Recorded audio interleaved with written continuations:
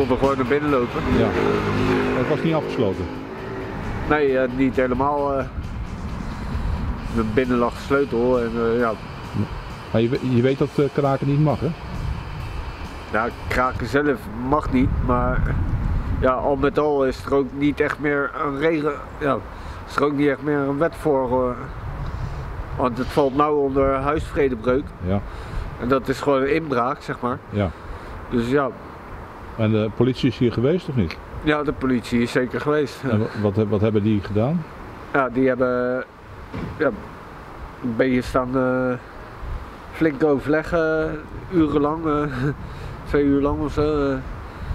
ja, vervolgens zijn ze weer weggegaan, want ja, ik had een brief aan de officier van justitie, dus ik had de officier al ingelicht. Ja. Maar waarom heb je dit pand gekraakt? Ja, omdat ik toch ergens moet wonen. Ja. Dan sta je ook ingeschreven bij eh Haag wonen. Eh, dat durf ik niet te zeggen. Ik heb wel een dak thuisloze uitkering.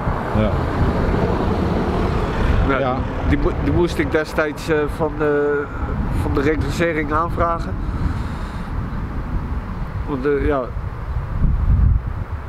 ik had wel boetes en eh, Je had dus geen, plek, je Uiteindelijk, had eh, geen, je had geen plek om te wonen. nee ja, ik heb eh, altijd gekraakt Ja. eigenlijk. Als iedereen gaat kraken, dan wordt het natuurlijk wel een beetje chaos, of niet? Ja, niet helemaal mee eens. Nee. Ik bedoel, eh, uiteindelijk, eh, er staan eh eh, panden staan leeg en eh, Er gebeurt niks mee. waar niks mee gebeurt. En eh, sterker nog, eh, ze doen er alles aan om die panden leeg te houden. Dat gaat een keer ophouden, dat je kunt hier niet onbeperkt blijven wonen. Nee, hier niet, maar Nee. ja, zolang er eh, leegstaande panden zijn, eh, Maar denk je dat dit meehelpt eh, dat de politiek anders omgaat met leegstaande panden? ja, dat, dat denk ik niet. Ik doe het er meer uit gewoon noodzaak. In feite ben je een kraker uit overtuiging. Ja, maar eerder noodzaak. Ja. Je zou dus liever gewoon in een eh, huurwoning wonen. Ja, voor zover dat geschikt is voor mij. Ja. ja, Waarom zou dat niet geschikt zijn? ja, geluidsoverlast. Ja. Oh, jij, jij, jij veroorzaakt geluidsoverlast. Ja, soms. Oké. Nee, maar ik ga weer Ja, ga lekker naar binnen joh. Oké. Hey, tot ziens. Doei. Ja.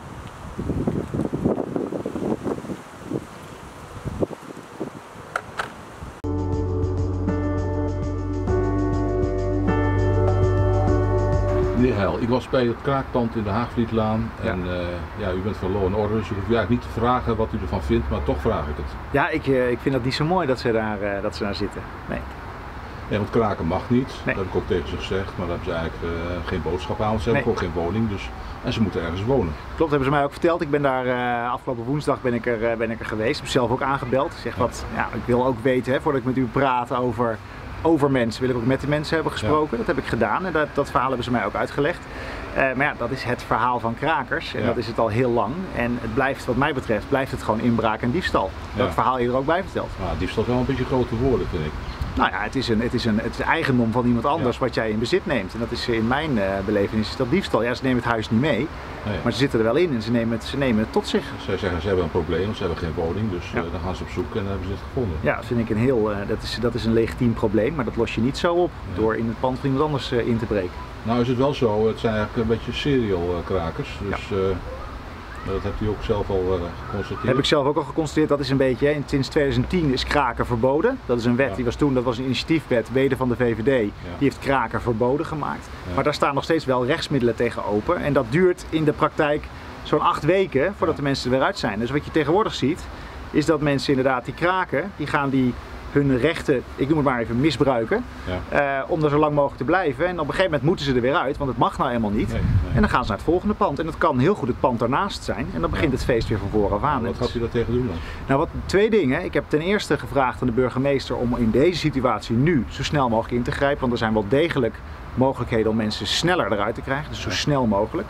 En de VVD als geheel heeft een wet net ingediend in de Tweede Kamer, of nou net, vorig jaar al eigenlijk, ehm, die die acht weken termijn veel korter moet maken. Die voorstelt dat een rechtercommissaris al binnen enkele dagen bevel tot, eh, tot uitzetting kan geven. Ja. Maar als u nou gewoon wat sociale huurwoningen zou gaan bouwen. Ja, dat is... wat, eh, hebt u zelf ook nog afgesproken? Zeker hebben wij dat 30% afgesproken. van alle nieuw te bouwen woningen zo in de sociale sector. ja, eh, absoluut. nou, dat schiet niet erg op in Dat, Leiden dan. nou, we doen heel erg ons best en er, komt ook een, er zijn heel veel plannen om dat, om dat op te schieten. Maar dan nog is het geen reden om panden van andere mensen te gaan kraken. Nee, want een van uw fractieleden die vindt het eigenlijk ook. Hè. Die heeft het project Schakenbos getorpedeerd. Nou ja, het project Schakenbos, daar zouden heel veel woningen worden gebouwd. En dat is een van de zaken die het oplost. Maar dat heeft niet zoveel met kraken te maken. Want ik denk dat de mensen die op Schakenbos gaan, gaan wonen of daar een huis zouden zoeken, niet eh, een pand gaan kraken. Heel veel mensen hebben dat probleem. Dat is een probleem Ja. waar we met z'n allen voor staan. En dat is een, een, heel, dat is een landelijk probleem om genoeg woningen te bouwen.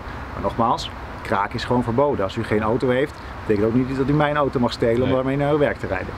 Wanneer gaan de krakers eruit?